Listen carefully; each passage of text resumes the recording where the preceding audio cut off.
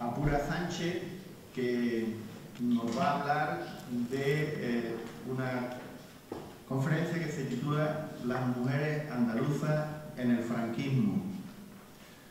Pura Sánchez, eh, natural de Benadúa, un pueblo de Granada, pero vive en Sevilla, bueno, está entre Sevilla y Granada siempre, imparte clases en lengua castellana y literatura en el Instituto Secundaria Velázquez de Sevilla, es premio Andalucía de Memoria Histórica en 2010 y es licenciada en Filología Hispánica por la Universidad de Granada. También ha trabajado en otros institutos de Córdoba y Sevilla y ha dado numerosas conferencias sobre memoria histórica en ámbitos universitarios. Es autora de los libros Encuentros y Desencuentros, Morir en Primavera o la que le valió el premio Mujer Arte en 2002. Esta última, ¿no? Morir en primavera. En 2008 publicó La represión de las mujeres en Andalucía, una investigación histórica que desvela la identidad de las mujeres andaluzas represaliadas por los tribunales militares franquistas en el periodo de la guerra y la posguerra. La misma línea historiográfica, su obra de 2009 individuas de dudosa moral, pone de manifiesto la dureza de la represión, no solo por los abusos a los que eran sometidas las mujeres, sino que porque además se pretendía castigarlas por haber pretendido emanciparse como mujeres de la función subordinada a que les condenaba la sociedad. En el año 2010 fue, como he dicho, entregado el Premio Andalucía de Memoria histórica. Para llegar a un público más amplio, ha compuesto nueve relatos que conforman su libro Historias sin Historia, de 2014. Y también ha colaborado en algunas obras colectivas como Exilio Interior Femenino y Supervivencia durante la dictadura, Lugares de Memoria, Golpe Militar, Represión y Resistencia en Sevilla, o el caso Rocío, la historia de una película secuestrada por la transición. Pura es también directora de un programa de radio que eh, se emite en Canal Sur Radio eh, los jueves a las 11 de la noche, que se llama eh, Andalucía, un pueblo con historia. Ahora mismo están de vacaciones, pero esperemos que a partir de septiembre podamos volver a escucharla en la radio. Pura, muchas gracias. Pues muchas gracias a ti, Juan, muchas gracias por la presentación, muchas gracias por la invitación y también quiero agradecer la invitación al, coordinador, al otro coordinador de este curso, a Julio Pérez Serrano, a quien he conocido personalmente esta mañana porque nos conocíamos eh, en, directo, aunque sí de nuestro, de nuestro trabajo.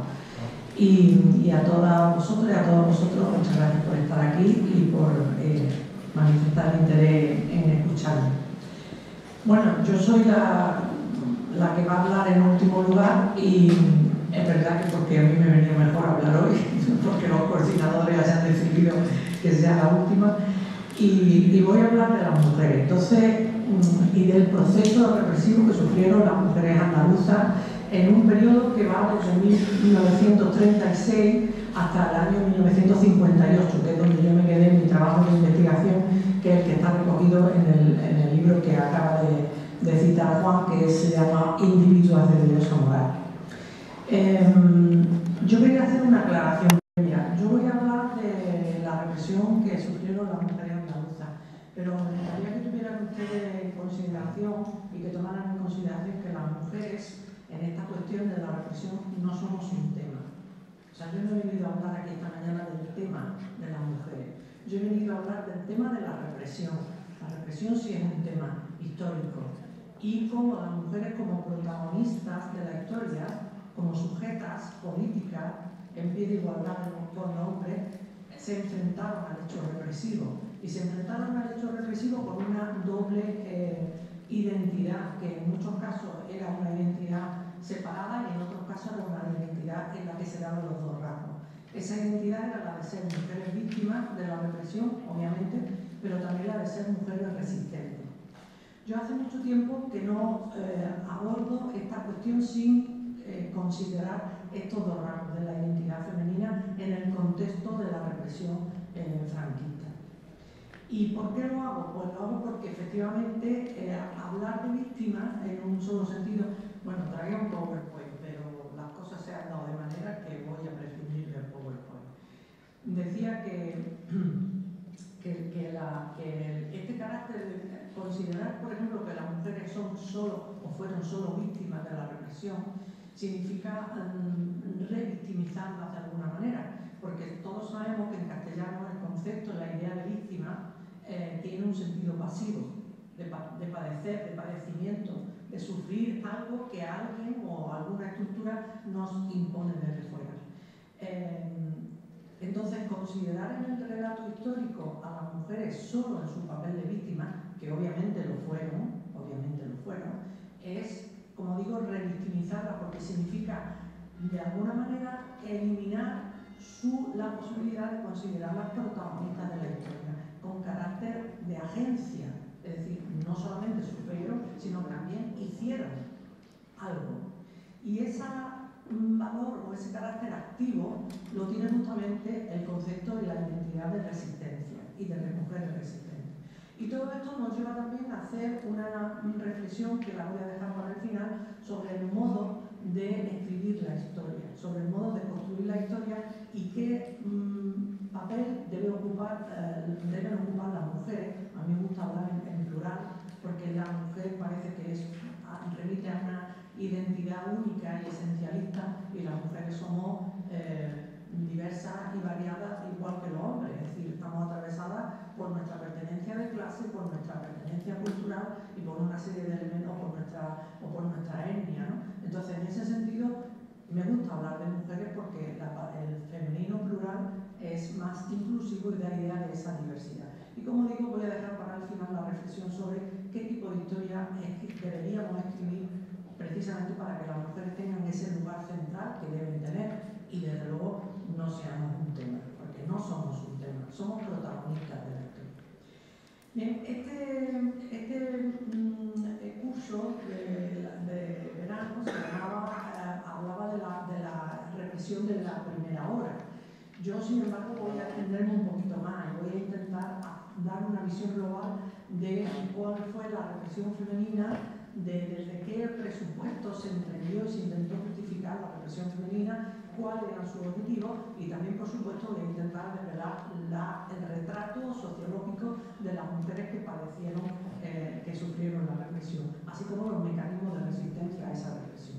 Entonces, como la cosa es larga, voy a ir bastante deprisa y espero que ustedes me perdonen la visión así general de, quizá a veces de brocha gorda, pero luego en el coloquio, que me interesa muchísimo que lo haya, eh, podríamos aclarar una cuestión. Tengo que hacer una afirmación en relación a esta represión que se habla en el título genérico de este curso de la represión de primera hora y la planificación.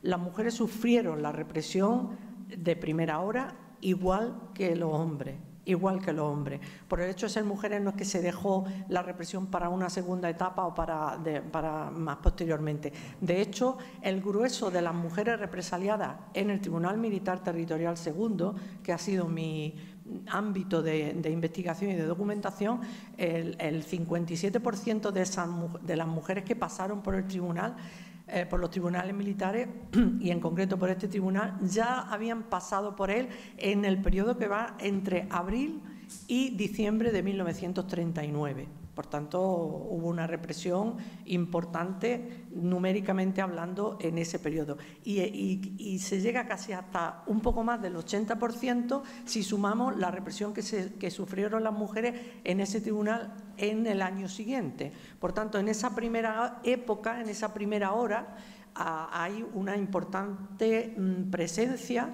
de las mujeres como víctimas de la represión. Esto tiene que ver con el carácter ejemplarizante que tuvo la represión femenina, marcadamente ejemplarizante que tuvo la represión femenina. Y hago hincapié en este aspecto porque el hecho de que fuera ejemplarizante explicaría que cuantitativamente la represión femenina fuera inferior a la masculina, cuantitativamente hablando. Es decir, estamos hablando de un 4 o un 5%, en torno a un 6% como mucho, de mujeres que sufrieron represión a través de los tribunales militares. Hablo de esos instrumentos de represión, de los juicios. Otra cosa es, hombre, se hizo la luz. Yo no sé ya si ocuparme de ello o pasar directamente. Como digo, eh, estas mujeres eh, sufrieron la represión en estos primeros momentos y ese carácter ejemplarizante explicaría el, hecho de, que cuantitativamente fuera inferior.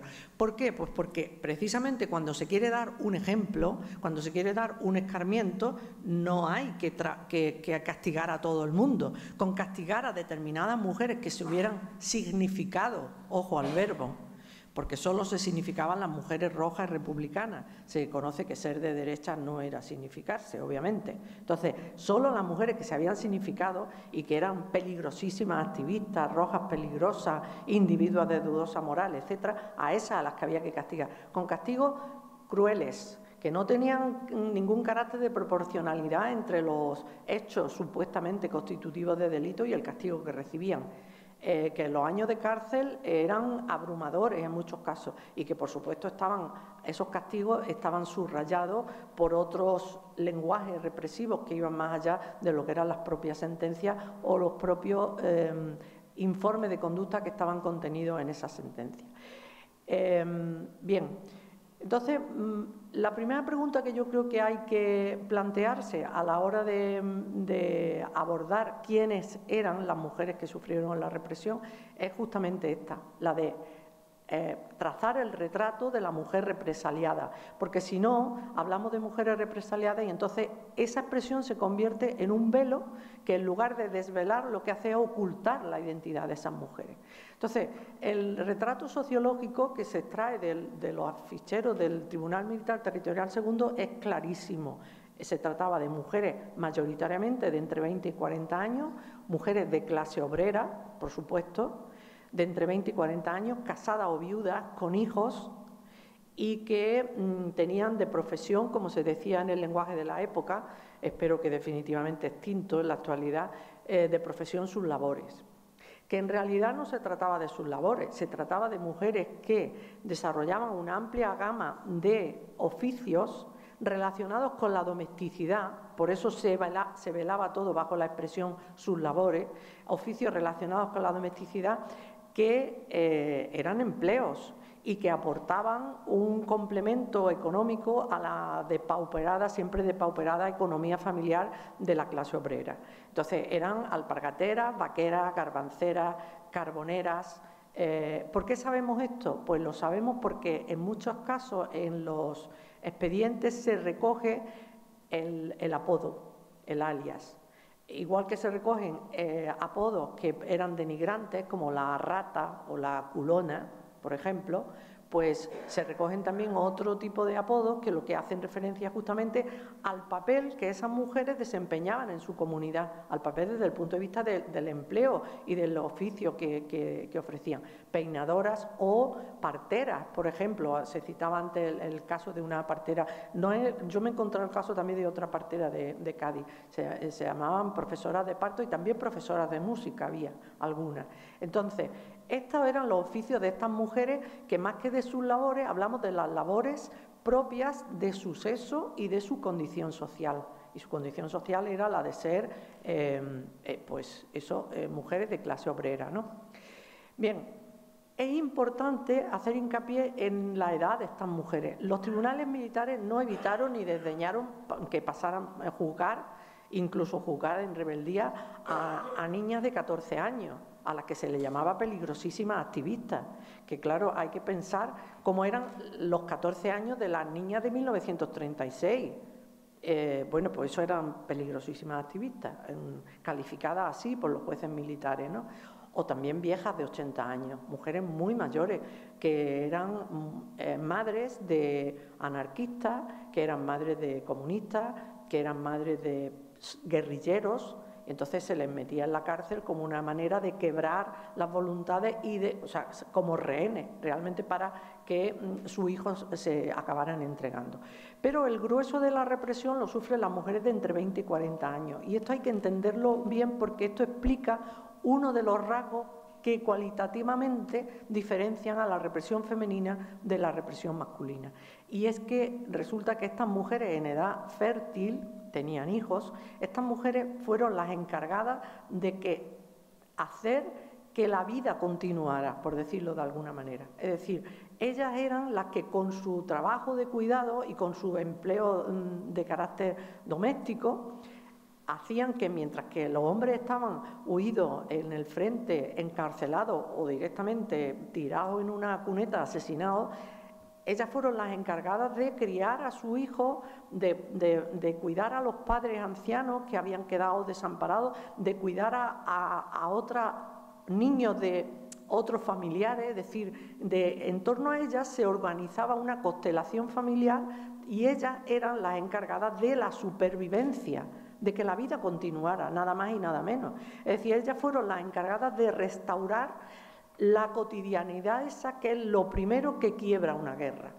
Es decir, cuando se produce un proceso bélico, de enfrentamiento bélico, el lugar donde sabíamos que se podía amasar el pan, el lugar donde había que ir a buscar agua o el lugar donde había que recolectar patatas y bienes de primera necesidad, eso quedaba de momento suspendido. Entonces, la tarea de estas mujeres era volver a restaurar esa cotidianeidad que hacía posible la supervivencia. Eh, por tanto, quebrar esto, es decir, coger a una mujer de esta edad, con estas características, y meterla en la cárcel seis meses en plan preventivo, para aplicarle después un código de justicia militar que a lo mejor daba como resultado que el caso se sobreseía o que le echaban de cárcel eh, tres meses y ella podía llevar ya seis meses en espera de juicio, eso da muestra de que en realidad, bueno, da muestra de dos cuestiones. Una, de que los tribunales militares, además, aparte de llamarse tribunales y de celebrar juicios, no perseguían la justicia. La búsqueda de la justicia no era su objetivo. Eso en primer lugar. Pero en segundo lugar también eso da idea, como digo, de uno de los objetivos que se perseguían con la represión contra las mujeres, que era justamente poner en un estado continuado de debilidad social a las familias de los vencidos. No solamente había que castigar a los hombres vencidos, sino que había que castigar a su familia a través de la violencia económica y de la violencia social, de la muerte social. Entonces, en ese sentido, ese, ese objetivo se cumplía justamente metiendo, aunque fueran unos cuantos meses, a las mujeres en las cárceles. Es más, los expedientes eh, del Tribunal Militar están llenos de cartas que muchas de ellas obviamente no lo habían escrito esas mujeres porque muchas de ellas eran analfabetas. Hay que recordar que en Andalucía, por ejemplo, a principios del siglo XX el 80% de las mujeres eran analfabetas y, a principios de la, República, mm, bueno, ese, índice se bajó, pero no con la premura que hubiera sido necesaria. Entonces había muchas mujeres que en, los, fichas ponían sin instrucción que quería decir en verdad o que no sabían leer y escribir o que eran, como diríamos hoy, analfabetas funcionales, que apenas sabían eh, firmar y ya está. Entonces, eh, el, asunto es que a estas mujeres cuando están en las cárceles, escriben cartas por mano interpuesta a los jueces pidiéndoles que las dejen salir mientras eh, tiene lugar el juicio para cuidar de su familia. Y esto es también muy curioso porque este hecho origina otro otro elemento de estigma sobre las mujeres rojas, que es que se decía que las mujeres rojas eran malas madres, porque habían abandonado a sus hijos. Y entonces, mm, de ahí todo, todo el engranaje que se pone en marcha de reeducación, por un lado, de los hijos de las mujeres rojas y de eh, hurto y de robo de esos niños para dárselo a, a otras familias. ¿no? Entonces, es curiosísimo cómo, em, y además es, muy importante señalar aquí también el papel que desempeñó la Iglesia Católica. La Iglesia Católica, Mater et Magistra, se convirtió en una madrastra que maltrató con toda su fuerza a estas mujeres y a su, a su hijo y, que nunca ha visto la necesidad de hacer examen de conciencia, ni dolor de contrición, ni propósito de enmienda. Todo eso que la Iglesia Católica predica con tanto empuje cuando se trata de que lo apliquen los demás. Bien, tenemos por tanto el retrato de las mujeres. ¿Quiénes fueron las mujeres represaliadas en los tribunales militares? Eh, la segunda cuestión es qué se perseguía con esta, eh, con esta eh, represión. Yo he, dicho uno de los objetivos, que era quebrar y seguir castigando de alguna manera a los, a los vencidos, castigando a su familia y, situando a, la población vencida en una situación de, sostenida de la habilidad, de debilidad social a través de la violencia económica y de la muerte social. Pero había otro objetivo que tenía características ideológicas y era el gran objetivo por el que a estas mujeres se las, castiga. Claro, cuando, se, cuando se leen, se llevaba, yo llevaba ya varios, bastantes legajos leídos, yo pensaba, pero estas mujeres, ¿qué habían hecho? para merecer estos castigos tan crueles, porque a esto hay que añadirle, como después me referiré, los otros castigos que consistían en la exposición a la vergüenza pública, la humillación, la violación, etcétera, ¿no? ¿Qué habían hecho estas mujeres? Bueno, pues hay que entrar en la mente de los represores, porque ah, se trata de entender, de justificar nunca, pero de entender sí, claro. Entonces, eh, los represores mm, utilizaron un discurso que estaba servido a medias y elaborado a medias por el patriarcado y por la Iglesia Católica, que lo había, puesto al día, digamos, utilizaron un discurso sobre el que basar y justificar el proceso represivo contra las mujeres. En definitiva, por, sintetizar mucho, estas mujeres lo que habían hecho es ser malas mujeres, es decir, transgredir, traspasar el, el papel y el rol tradicional que el patriarcado y la Iglesia Católica asignan a las mujeres, que es el de ser buenas esposas, buenas madres, sumisas, obedientes, calladas y recluidas en sus casas. Y esto no era una cuestión menor. Las mujeres eran tanto más buenas, o éramos, no sé si decirlo en, todavía en plural y traerlo al presente, cuanto más invisibles seamos, cuanto más sigilosamente transitemos por la vida y por la historia. Y en ese sentido había una, una frase que resumía esto perfectamente. ¿Quién es la buena mujer? La buena cristiana. Por tanto, dándole la vuelta a la, al dicho, las malas mujeres eran las malas cristianas, las que no se atenían a ese papel y a esa imagen. ¿Qué pasó? Pues que con la, con la consecución de los derechos eh, eh, civiles que se contemplan en la primera, en la Constitución de la Segunda República, las mujeres habían conseguido, habían conseguido, y esto hay que decirlo con este verbo, no se les había concedido, a las mujeres nunca nadie nos ha concedido nada, ni Dios nos ha salvado, ni la razón, ni nada. Nos hemos salvado por nuestros propios medios cuando hemos podido y contra los elementos siempre. Entonces, las mujeres habían conseguido, como consecuencia de una de un hilo emancipatorio que arranca en esta tierra de Cádiz a mediados del siglo XIX, ¿eh? habían conseguido una serie de eh, reivindicaciones y que se les reconocieran una serie de derechos que estaban en la Constitución recogidos, entre ellos el derecho al voto, que era un derecho muy importante porque propiciaba que la presencia de hombres y mujeres estuviera en el espacio público, que es el espacio del poder. Bien, en la mente de los eh, represores y en el discurso de los represores, estas mujeres eran unas transgresoras, unas mujeres que habían transgredido su papel tradicional de buenas esposas, buenas madres, etc. Y, y también y a la vez habían transgredido ese umbral que separa esa frontera, que para las mujeres no era un lugar franqueable, era la frontera que separa el espacio privado del espacio público. Esa es la razón por la que se juzgó y se castigó a mujeres por, por ejemplo, haber participado en una manifestación, haber alentado a las mujeres a que reivindicaran, haber eh, bordado una bandera. Fíjense ustedes, desde Mariana de Pineda, el hecho revolucionario, haber bordado una bandera republicana, haberse quejado de las condiciones de vida que la guerra le estaba dando a ella y a su familia, de las malas condiciones de vida. Hay una mujer que aquí en, el Mercado de la Libertad, en Cádiz, un guardia municipal la coge de la mano y se la lleva, arrastra a la prisión mm, provincial, porque en la boca del horno donde está esperando acabar de cocer el pan, ha dicho literalmente, y consta en en la sentencia, estoy harta de comer pan negro. Este es el pan blanco que nos iba a traer Franco. Y eso se consideró un delito de incitación a la rebelión, juzgado por el Código de Justicia Militar.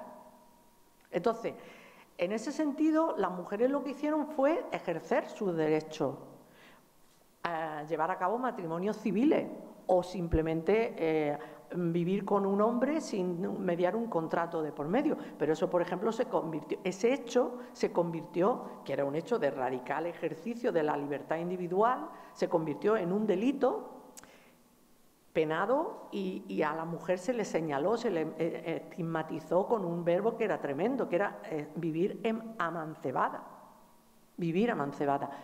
Los hombres no vivían amancebados, eran las mujeres las que eran señaladas como tales, ¿no? Entonces, en ese sentido es en el que cobra mm, todo su pleno significado la expresión ser una individua de dudosa moral pública y privada, que era la fórmula que recogía y señalaba la transgresión moral, social y moral, porque el término que recogía la transgresión política era ser roja, que era un término más general, ser roja, y que tenía correlación con el, con el término rojo, obviamente, en el mismo sentido de la transgresión política. El término individua de dudosa moral pública y privada, que se usaba solo en femenino, mayoritariamente, quería, significaba lo que significaba, porque individua en los años 30 y hasta la última edición del Diccionario de la Real Academia, en su séptima acepción aparecía sin correlato con el masculino y significaba mujer despreciable. Y eso es, en ese sentido, usaban los jueces individua y sujeta. Y además lo sabemos porque oponían el término individua y sujeta, que era el de las malas mujeres, al término señoras y señoritas con el que se citaba a las buenas mujeres que normalmente eran propietarias y nada de sus labores, las que aparecían por los tribunales militares, que aparecían en menor número, pero aparecían para señalar y para delatar o para declarar en contra de las mujeres encausadas.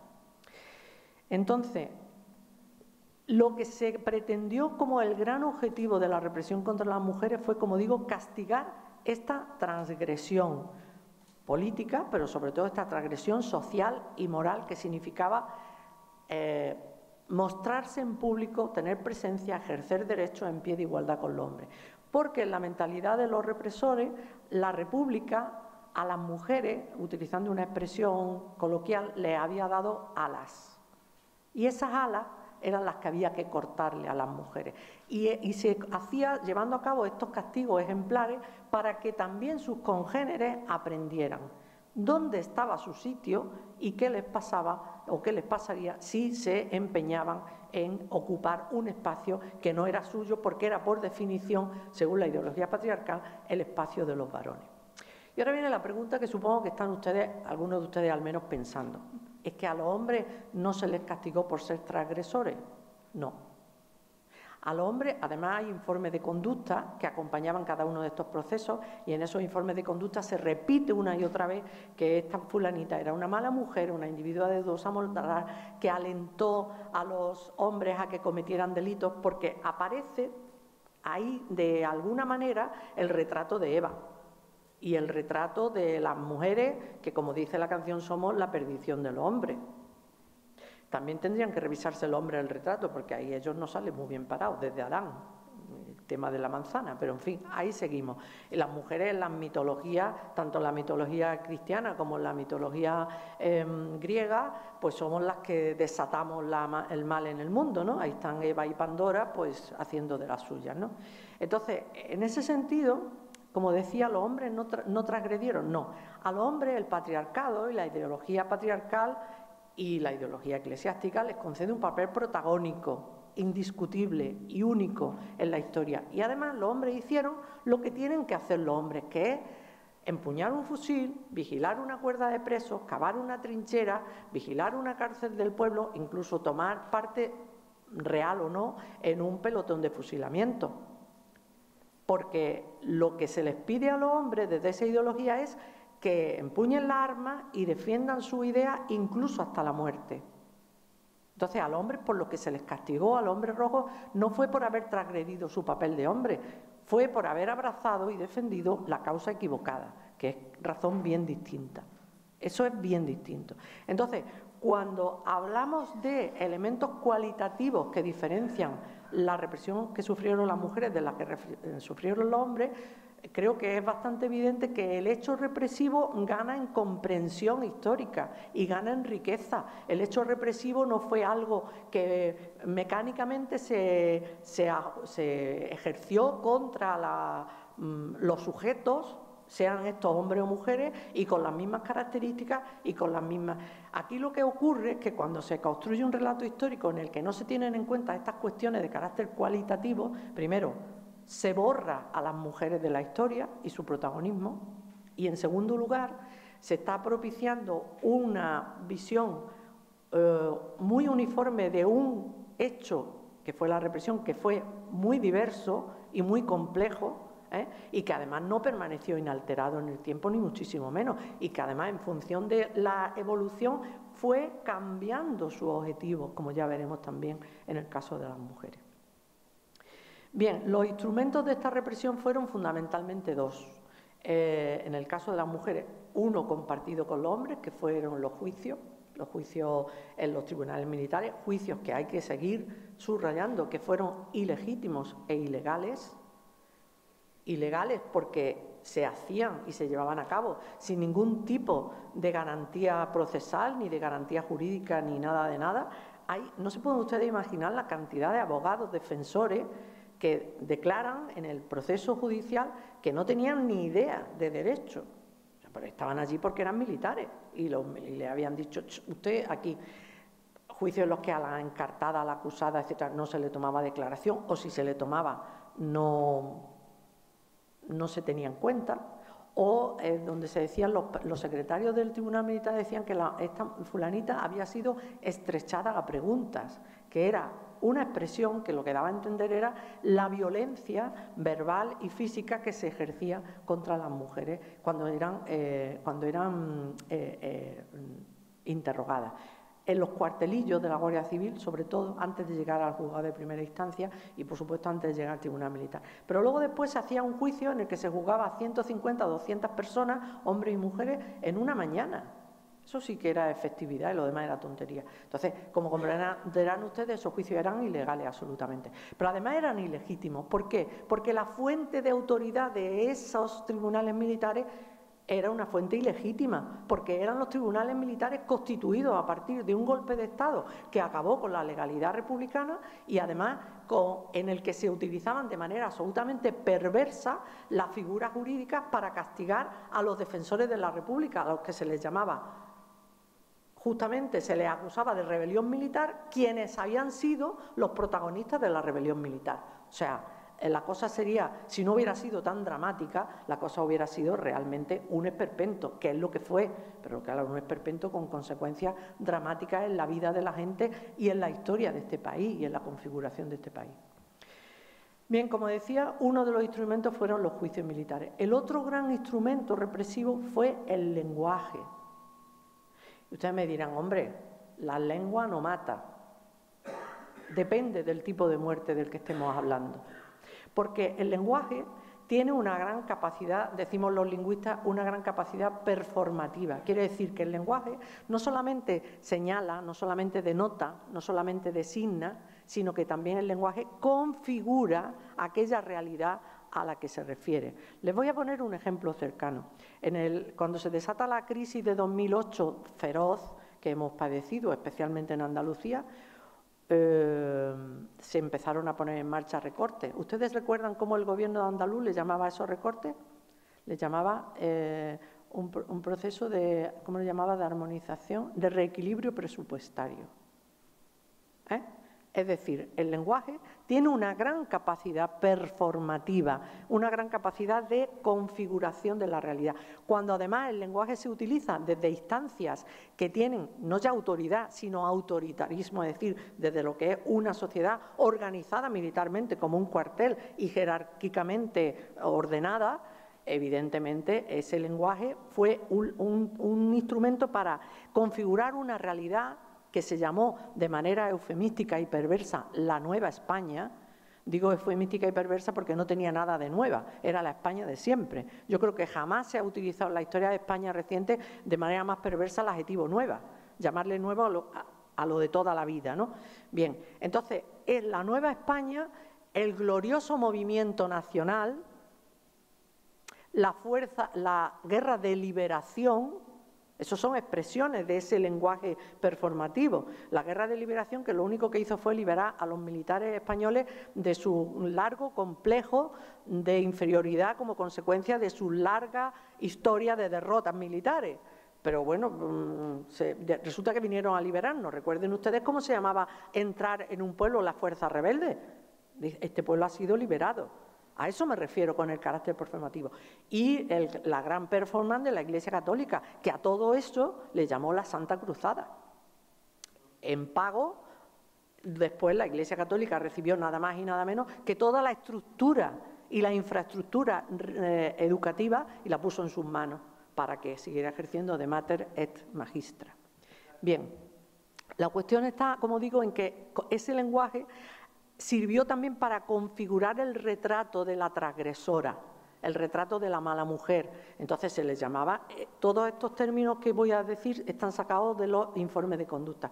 Individuos de dudosa moral pública y privada, se llama independiente, incluso se acusaba a las mujeres en términos negativos de ser independientes, algo que, fíjate tú, qué buena aspiración, ¿no? De ser independiente, vivir amancebada, tirarse a la calle, tirarse a la calle, esa expresión la utilizaban los jueces y la utilizaban los jefes locales de, Falange, los alcaldes de los pueblos y los comandantes de puestos de la Guardia Civil, que eran las tres instituciones y los tres personajes que solían hacer los y firmar los eh, eh, informes de conducta. En esos papeles es donde aparece configurado el retrato de la mala mujer.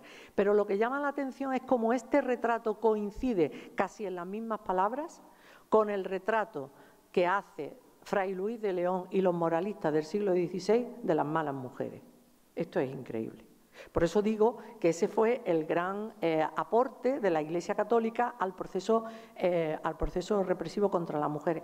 No tanto en Andalucía, al menos, el hecho de que hubiera curas que se presentaran a, declarar contra las mujeres. Yo, de hecho, no me he encontrado en el Tribunal Militar ningún caso, no digo que no lo haya, pero, por ejemplo, sí que en Galicia fue habitual que los curas participaban directamente en el proceso represivo contra las mujeres, hasta el punto de que hubo un obispo que tuvo que decirles que no mostraran tanto entusiasmo, que ya tenían bastante las rojas con lo que les estaba cayendo encima. Eso en Andalucía no pasó, pero claro, sirvieron el en bandeja a los represores la justificación del proceso represivo. Y eh, hubo otro lenguaje represivo muy eficaz, y este no un lenguaje mm, verbal, sino uno no verbal, que era el lenguaje de la violación, el lenguaje del rapado y el lenguaje de la exposición a la vergüenza pública y la humillación. Este lenguaje formaba parte también eh, de ese carácter ejemplarizante al que he aludido al principio que tenían que tener los castigos contra las mujeres. Castigos que, por cierto, no se me puede olvidar, eh, estaban pensados para, mm, en fin, para eh, castigar, valga la redundancia, los actos cometidos por las mujeres que tenían esa doble, mm, esa doble, ese doble carácter de delitos y pecado era una mezcla de delito y pecado. Delito porque se suponía que habían inculcado no sé cuántas, conculcado no sé cuántas leyes, pero también de pecado en el sentido que he hablado antes, de ser individuos de dudosa moral. Quien daba los certificados de buena moral pública y privada era la Iglesia Católica, que para eso transita de lo público a lo privado mediante el sacramento de la confesión es que eran los testigos privilegiados en ese sentido. ¿no? Entonces, el, castigo con ese lenguaje no verbal eh, hecho de gestos ancestrales, era absolutamente eficaz porque era mm, exponer públicamente a aquellas mujeres que se habían señalado, que se habían significado, para dar a entender al resto, y aquí el carácter ejemplarizante era clarísimo, eh, qué es lo que le iba a pasar si persistían en ese, en ese camino. Y por eso, cuando se entraba en una población, lo primero que se hacía era identificar a las cuatro, cinco, seis, ocho mujeres más señaladas y pelarlas. Claro, ¿de dónde viene esta historia de pelar a las mujeres? Bueno, esta cuestión tiene que ver, yo mm, he rastreado mirando hacia atrás hasta la Biblia. Yo creo que ahí es donde está el origen en la, Biblia y, sobre todo en las religiones monoteístas que hablan de eh, las mujeres como un objeto que pertenece al varón. Eh, y por tanto, esas relaciones desiguales que generan la sumisión y la dependencia de las mujeres. Em, en algunos de los libros de, primeros de la Biblia se habla de que en un caso concreto los ejércitos victoriosos de Yahvé llegan ante el templo a presentar el botín de guerra. Y el botín de guerra se describe y estaba compuesto por por ejemplo, 300.000 cabezas de ganado y 200.000 mujeres al mismo nivel. Eso era el botín de guerra.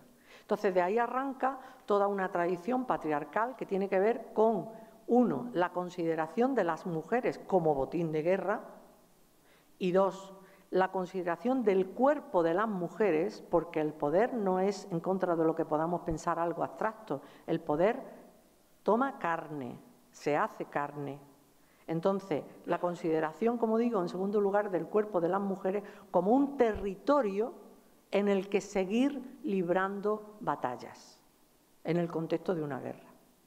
Yo creo que esta es la razón, en el fondo, por la que las mujeres que somos y nos pensamos feministas, somos pacifistas, porque sabemos que las guerras, las gane quien las gane, las mujeres las perdemos siempre, siempre.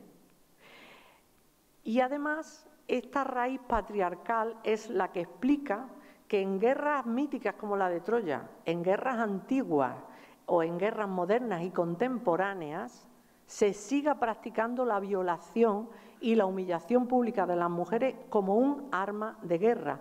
No tengan ustedes la menor duda de que en Ucrania se están produciendo violaciones de mujeres, pero no solo por el ejército ruso, sino por el ejército ucraniano. Porque esto es un elemento común que no podemos decir que la guerra de España ni se inaugurara ni fuera algo exótico y propio de esta guerra. No, no, no. Es un elemento común en todos los conflictos. En la Segunda Guerra Mundial, cuando entran el ejército ruso, que recuerdo que era el ejército liberador, cuando entra en Berlín, se dice que eh, violaron a 200.000 mujeres. Cuando el ejército francés empieza a liberar el territorio italiano de sur a norte, va dejando un reguero de mujeres eh, violadas, que después los franceses le echan la culpa a los elementos marroquíes que había integrado dentro del, ejército eh, francés, que, lo había, y que es verdad que dejaban 48 horas libres para, bueno, ustedes han visto la, la película de las chocharas, seguro, pues ahí, eso que se cuenta ahí. Y, el, Senado italiano ha reconocido en torno a de 3.000 a 5.000 mujeres violadas en la Segunda Guerra Mundial.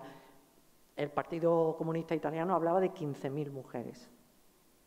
Bueno, pues lo que mm, justifica y explica toda esta barbarie contra las mujeres es lo que acabo de decir en términos, en términos simbólicos. Y además es una cuestión que hace que las víctimas oculten ese castigo, oculten esa, esa barbarie, porque eh, no quieren que la vergüenza recaiga sobre ellas mismas, es decir, las víctimas son las que reciben la vergüenza, en lugar de ser las, en fin, las que la han padecido el castigo, y también su familia. Esa es la razón por la que cuando en el año 2010 la Junta de Andalucía emprende ese acto de reconocimiento simbólico de las mujeres que habían sido rapadas, muchas mujeres, primero, aparecieron muy pocas, porque creo recordar, no sé, ya se acordaba del dato, pero creo que fueron unas 180 mujeres.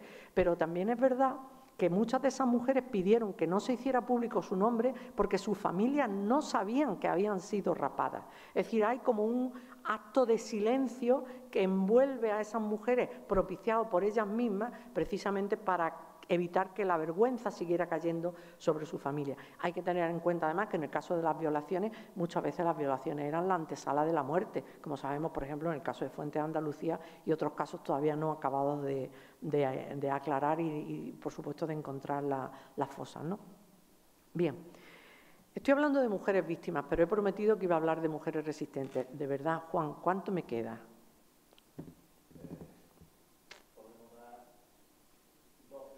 Vale. Pues voy a hablar brevemente de mujeres resistentes, porque esto me va a ayudar a hacer la reflexión final sobre el tipo de relato histórico que tendríamos que construir o que estamos construyendo en algunos casos y en otros no tanto. Em, las mujeres resistieron, resistieron en términos que no son comprensibles si nos empeñamos en volver a considerar como medida la heroicidad y la resistencia masculina como única medida. Es decir, las mujeres resistieron con sus propios medios y de una manera completamente diferente, que hace que cuando hablemos de heroísmo dentro de la historia tengamos que hablar de heroínas en un sentido y de héroes en otro. Eh, la heroicidad masculina habitualmente se entiende como perder la vida, incluso perder la vida en el intento de defensa de las ideas, mientras que muy frecuentemente la heroicidad femenina hay que entenderla en el sentido de conservar la vida para conservar la vida de los suyos. Porque miren ustedes, en, ese contexto bélico y post de la posguerra, era más sencillo morir que vivir. Era más fácil y era más habitual. Por tanto, conservar la vida era un acto de resistencia. Cuando la vida no valía nada, la vida de los vencidos y de las vencidas no valía nada, conservarla era un acto de resistencia. Y en ese sentido, es verdad que a veces se tiene muy poco en consideración. Pues dice, bueno, es que mujeres murieron menos, es que mujeres, y no se dan cuenta los historiadores que hacen estos planteamientos, que la vida en los primeros 20 años después de la guerra recayó sobre las espaldas de, de, las mujeres. Es verdad que no es que los hombres decidieran no contribuir a eso, pero es verdad que mayoritariamente fueron las mujeres las que sobre sus espaldas cargaron nada más y nada menos que la conservación de la vida. Pero además ellas establecieron sus propios mecanismos de resistencia, mecanismos de resistencia que tenían que ver con la creación sobre todo de redes informales que posibilitaban la supervivencia, redes de contacto entre mujeres que hacían posible la ayuda y el apoyo a los presos en las cárceles y su supervivencia, que hacían posible desarrollar trabajos ligados a esa supervivencia que posibilitaban la supervivencia de su hijo y de su hija. Eh, redes de, conexiones en el, contexto de la guerrilla que hicieron posible la guerrilla. Eso los, guerrilleros lo, hablan, hablan de hecho de la guerrilla del llano, que es el tipo de apoyo que se daba a la guerrilla que consistía en comprarle alimentos, llevarle noticias, em, procurarle rutas de escape, es decir, eso que era el trabajo que hacían las mujeres básicamente. O, por ejemplo, extraperlear. En esta zona del campo de Gibraltar era habitual que las mujeres extraperlearan. ¿Con qué? Con productos de primera necesidad que ellas traían y llevaban, compraban y vendían y con eso hacían que la supervivencia, procuraban la supervivencia de los suyos. ¿Por qué esto hay que considerar los actos de resistencia? Pues porque fueron castigados por los represores. Es decir, se trataba de quebrar, metiendo a las mujeres en las cárceles, acusándolas y tal, se trataba de quebrar esas redes de resistencia. ¿Qué sentido tendría si no que se juzgara cuando ya existía la Fiscalía de Tasas y existía la propia, digamos, el propio camino jurídico para castigar, cuando estaba organizándose la autarquía, el, propio camino que existía para, para castigar los delitos económicos? ¿Qué sentido tenía más? Pasar a las matuteras del campo de Gibraltar por un tribunal militar. El sentido que tenía era justamente quebrar esas leyes, de, esas redes de resistencia, esas redes que posibilitaban, insisto, la subsistencia, el cuidado de la vida. Entonces, esto es fundamental porque además las mujeres eran conscientes. Había una, una red de mujeres en Jaén que estaban formados por mujeres jóvenes y, mayores, y las jóvenes acompañaban a las mayores que no sabían leer ni escribir a Sevilla a pedir clemencia a sus presos. Organizaban comida para los presos que tenían lejos a su familia y por una peseta que les pagaban por esa comida, ellos a su vez criaban a sus niños. Entonces, claro que era un desastre familiar meter a una mujer de estas cinco meses en la cárcel. Bien, esa es la cuestión de la supervivencia. Y ya para terminar hago la pregunta, ¿qué tipo de historia escribimos y qué tipo de historia deberíamos estar escribiendo?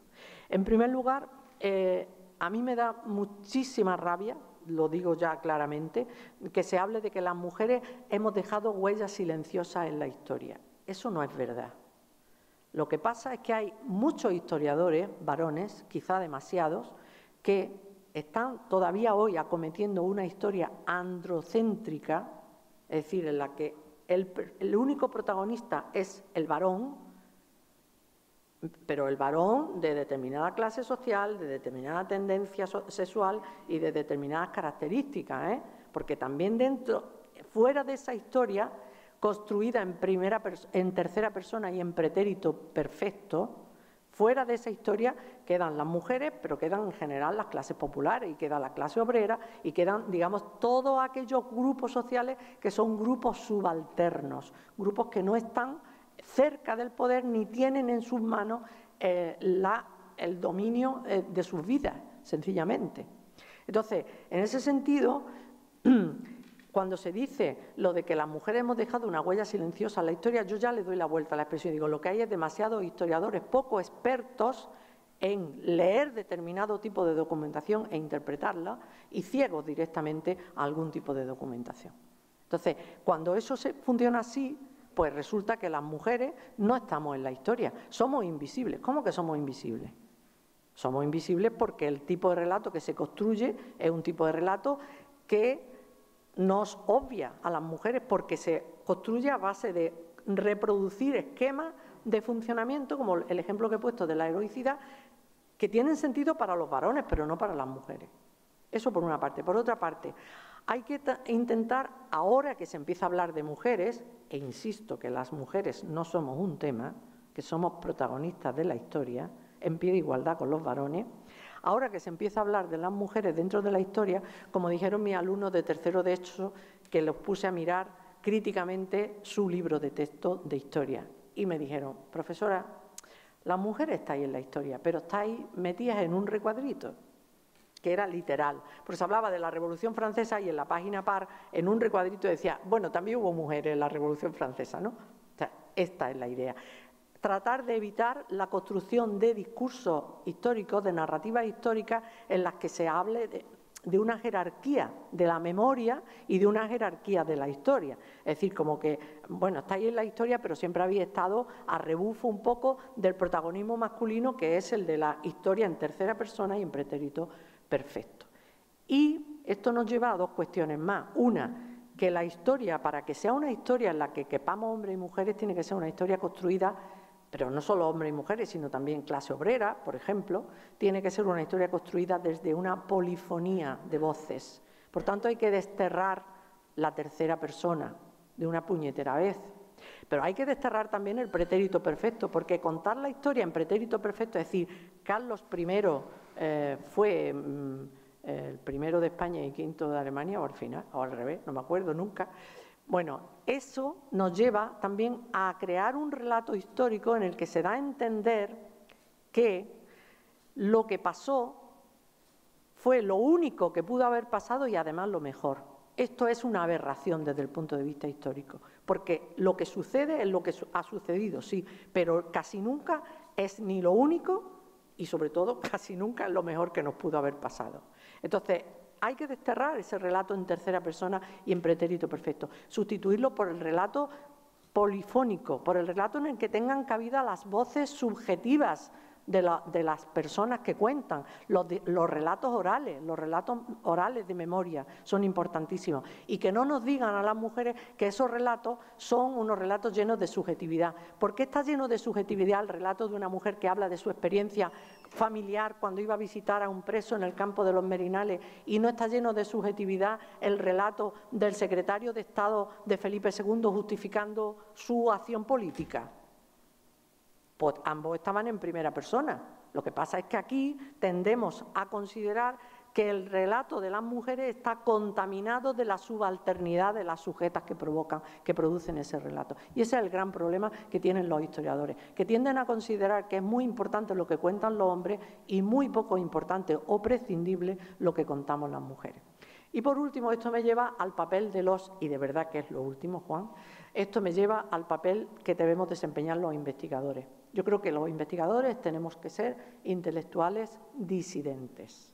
Tenemos que construir nuestro relato desde la disidencia, porque el intelectual que no disiente lo que hace es justificar la realidad. Nosotros lo que tenemos que hacer, lo que procuramos modestamente, algunos de los que estamos aquí, es construir conocimiento y comunicarlo, porque eso es un instrumento de transformación social en manos de las clases subalternas. Muchas gracias.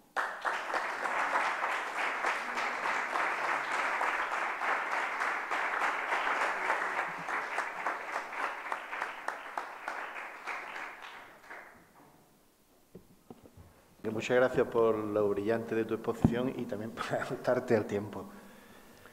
Vamos a comenzar. Después tenemos la última ya conferencia, así que vamos a estar diez minutitos de debate y cinco de descanso y, a la una justo empezamos, ¿vale? Por favor.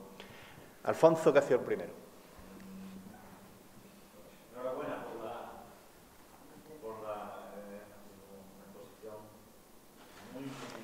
Estoy aceleradísima, ¿eh? tengo el corazón acelerado de ir tan rápido. Y además, y además quería hablar de la segunda parte del franquismo, pero eso ya decidí que no, pero al principio, no ahora.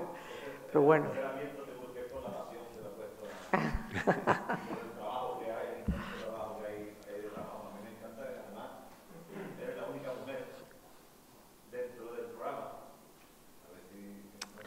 ¿Eh? Otros años hasta más compensada la cosa, ¿eh? De mujer florero, tengo sensación de mujer florero. No, no. No, pues está. Perdón, que después viene María Victoria, ¿eh? que tenemos otra.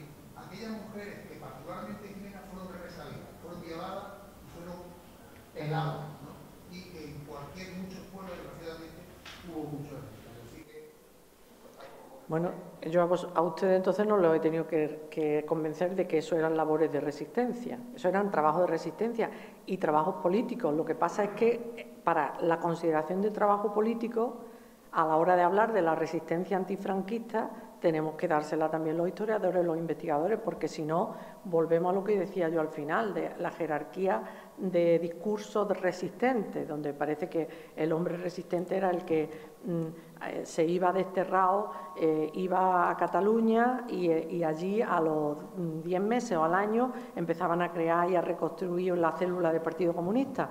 En cambio, no se habla de las mujeres resistentes que los acompañaban con sus niños y que habían creado los lazos vecinales suficientes que generaban la confianza necesaria para que después se pudiera crear la célula del Partido Comunista. Esa historia es una historia que tan, se sigue repitiendo, obviando a las mujeres, que yo tengo un grupo de amigas en, Sevilla que me dijeron, eh, yo les prologué un libro de mujeres antifranquistas y ellas me dijeron, hemos tomado la decisión de contar esta historia a nosotras porque a nosotras nadie nos va a escribir nuestra historia, porque nuestros maridos, me dijeron literalmente, todos tienen ya su libro. Pero el nuestro lo vamos a tener que escribir nosotras. Y efectivamente, esta es la cuestión, porque parece que esto no era resistencia política, que la resistencia política contra Franco era la escaramuza, o eran los panfletos, o eran las células mm, del partido en la clandestinidad, pero que las mujeres pasaban por allí. Las mujeres se manifestaban o eso, contrabando, o se manifestaban para pedir una escuela, o denunciaban la violencia cotidiana, esa a la que tú, a la que usted ha aludido, es decir, de un guardia civil que se propasa y me pega una bofetada y voy al cuartelillo, que había que ser muy valiente, ¿eh? al cuartelillo a denunciar al guardia civil. Claro, en el cuartelillo entraban como acusadoras y salían como acusadas, pero ellas iban. Entonces, esta es la cuestión, ¿no? Bueno. Bueno, eh, me sumo a lo anterior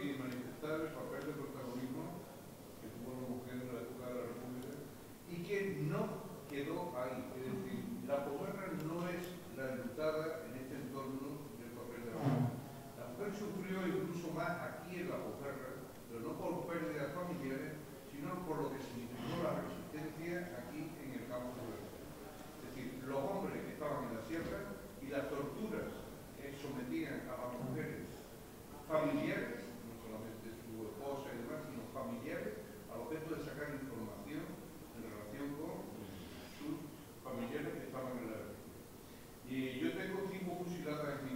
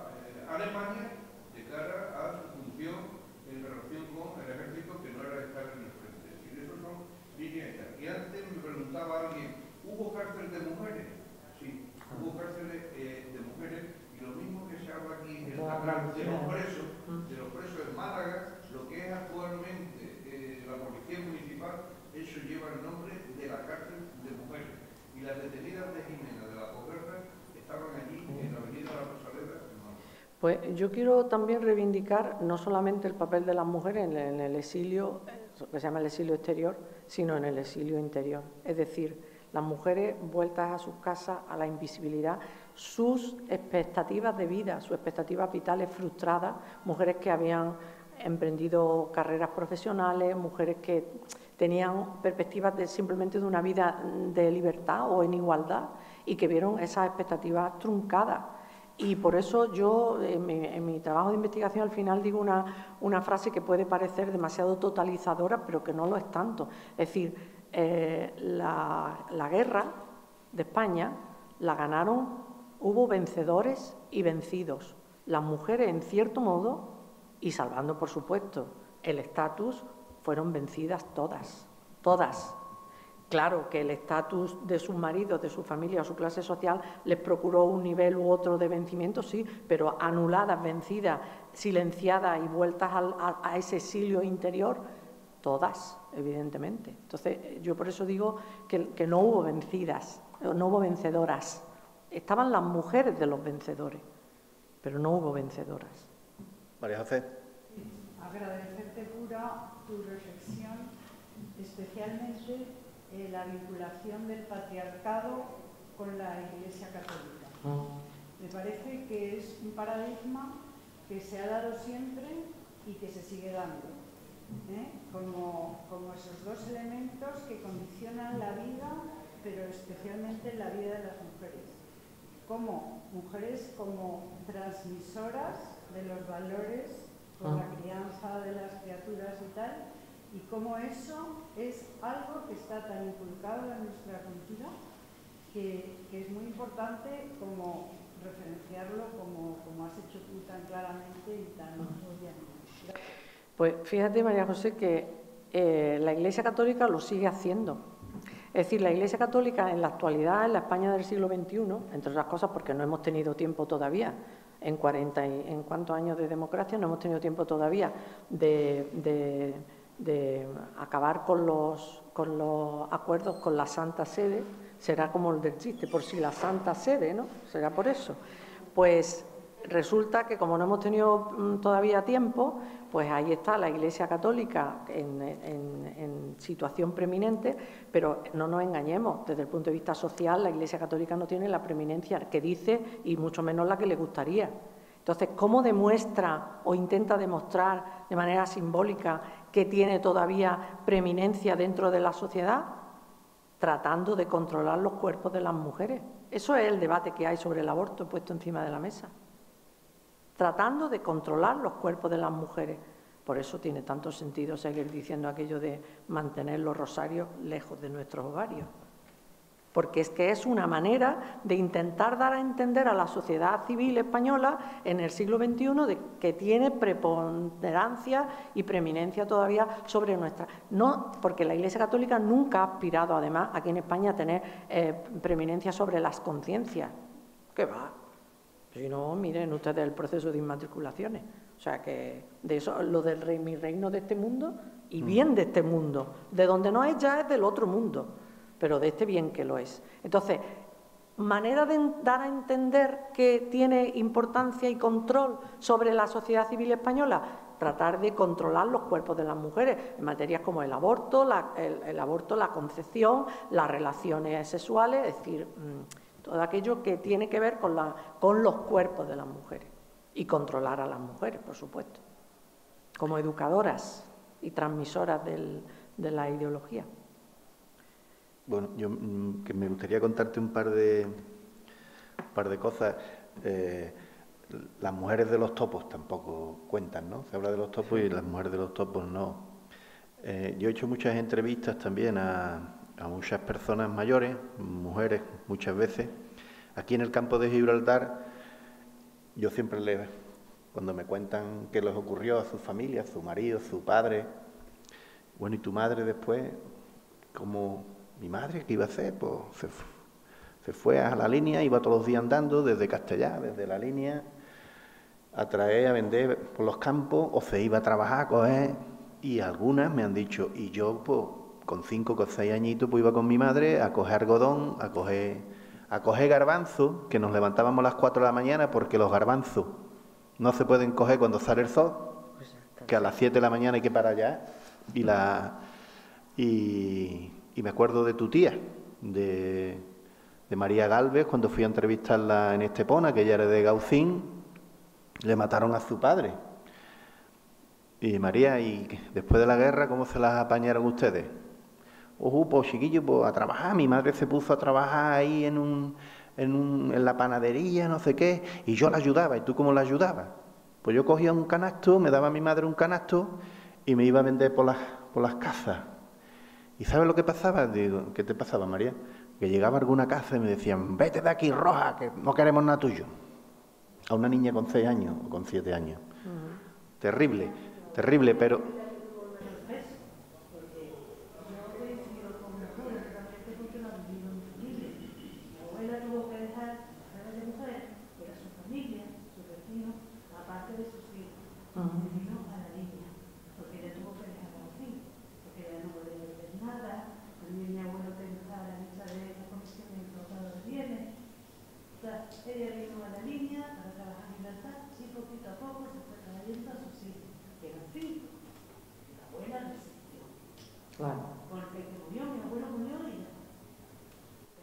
Ellos se quedaron, claro. Sí, yo hay una cosa que eh, esto Ángel y yo lo hemos comentado porque eh, yo tuve la suerte de que cuando yo me puse a hacer mi trabajo de investigación acababa de salir el libro del canal de los presos y para mí ese libro y ese trabajo fue, obviamente, fue una, fuente de inspiración. Yo, además, mm, traje a Ángel y a sus compañeros al, Instituto Velas, que después fuimos al, al, campo de los Merinales, que por cierto todavía me encuentro alumnos que me dicen que esa fue su experiencia pedagógica más relevante en el bachillerato. O sea, se habrán olvidado de cómo yo les expliqué la Celestina, seguro, pero os puedo asegurar que en la ida al campo de los Merinales y los trabajos que hicimos conectados con eso y tal, ellos no lo han olvidado. Esto también me lleva a reflexionar sobre esa cuestión que existe así un poco, dice, bueno, es que estas cosas no se le enseña a la gente joven porque no están interesados. Falso. La gente joven se interesa cuando se le, cuando se le cuenta. Otra cosa es que no se quiera contar porque esa parte de la historia de España sí nos increpa, si nos, nos atañe a las personas que estamos en esa parte y en esta parte de la, de la docencia. Isabel II es muy raro que nos, en fin, que haga que el alumnado nos interpele, pero Franco sí. E, e, esa, esa es la clave. Y esa es la razón por la que, entre otras cosas, hoy aquí hay tan poco alumnado joven, que por cierto me alegro mucho de veros y de que estéis aquí, pero sois poco, hay que decirlo, vaya. Supongo que sois buenísimos, además, o sea, el cambio cuantitativo, cualitativo. Pero hay una cosa que yo he comentado con Ángel, porque al principio cuando hacíamos esto era la importancia de los, de los testimonios de las mujeres la importancia de los testimonios de las mujeres. Y yo le decía a Ángel, yo no sé si esto es una barbaridad mía, pero porque yo aquí en esta investigación, ahora ya se me ha quitado, pero al principio tenía un poco el síndrome de impostora. Entonces yo le decía a Ángel, mm, a mí me gusta más entrevistar a mujeres porque me entero de más cosas. Y me dicen, ah, bueno, a mí y a mí también, porque claro, las mujeres, primero las mujeres usaron el silencio para defender a los suyos, que yo eso también lo pongo como una estrategia de resistencia, porque decían, si no se enteran de lo que nos ha pasado a nosotros, a nuestra generación, a ellos no les va a pasar nada. Era un silencio también resistente. Pero en el momento en que alguien se acerca y les pregunta, entonces se convierten en un, en un silencio, en una garganta militante, es decir, mujeres que hablan y que cuentan porque saben que eso es importante. Pero claro, han tenido que descubrir que hay alguien que está dispuesto a entender, a enterarse y a preguntar y a escuchar. ¿no? Entonces, son muy interesantes los testimonios de las mujeres porque mientras que los hombres, a ver, los hombres funcionan dos cuestiones. Una, eran vencidos. Y eso en, el, en la mentalidad patriarcal eh, no es un plato de gusto. No vamos a, ¿De qué vamos a presumir? Si es que mm, nos pegaron, nos apalizaron, nos metieron presos, nos torturaron, fuimos vencidos. ¿De qué vamos a presumir? Digo, en una mentalidad patriarcal de hombre fuerte, viril y etcétera, ¿no? Uno. Y dos, como los hombres tienen ese tan arraigado, ese sentimiento y esa idea de que son los protagonistas de la historia, su relato muchas veces es yo, yo, yo, yo. Y bueno, y usted y el otro, ah, pues no sé, ah, pues no me acuerdo incluso algunos mm, se vienen un poco arriba y, como que parece que fueron más protagonistas de lo que en verdad fueron. Pero bueno, pero que te quiero decir que, que a fin de cuentas tienen esa, asumida esa historia del, yo como el centro del relato. Mientras que cuando son las mujeres las que cuentan, las mujeres hablan de esa constelación. Entonces las mujeres son capaces de recordar el precio que tenía el pan, cómo se hacía, cómo se hacía la comida sin nada comestible, eh, cuáles eran esas redes, quiénes estaban y a qué partido o a qué organizaciones eh, pertenecían las mujeres, qué tal, por el periplo carcelario de sus presos, es decir, una cantidad de información.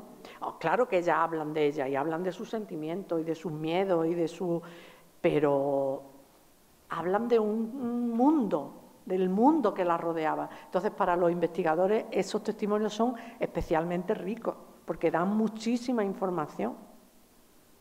Esto es una cosa que ya Ángel y yo teníamos hablado, ¿verdad?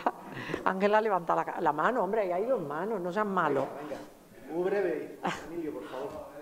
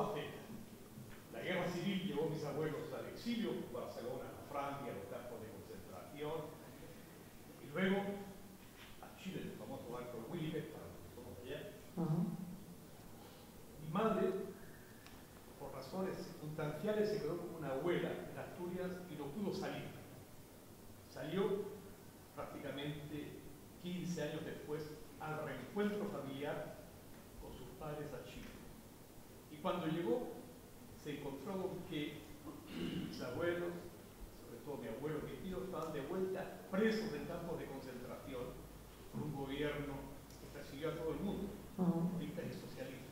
Entonces se encontró de vuelta con el mismo drama del cual aquí quedó separada.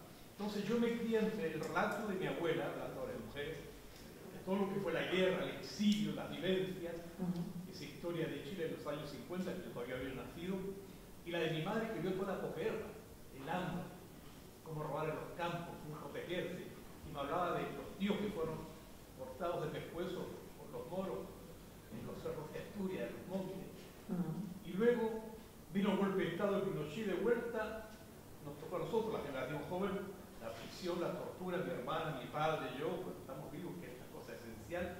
Y de vuelta fue mi abuela quien enfrentó todo ello.